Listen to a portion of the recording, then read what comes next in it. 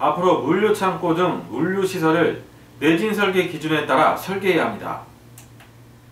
물류 시설은 화물 운송, 보관 하역과 이와 관련된 가공, 조리, 분류, 포장 등의 활동을 위한 시설을 포함합니다. 행정안전부는 지난 8일 국회 본회의를 통과한 지진, 화산 재해대책법 일부 개정 법률안이 26일 공포된다고 밝혔습니다.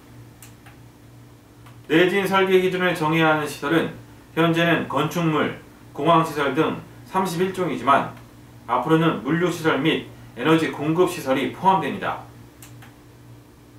안양규 행정안전부 재난관리정책관은 내년 하반기부터 개정된 지진대책법을 추진함에 따라 정부의 지진 대비가 한층 강화될 것으로 기대한다고 밝혔습니다. KSG 뉴스 배종환입니다.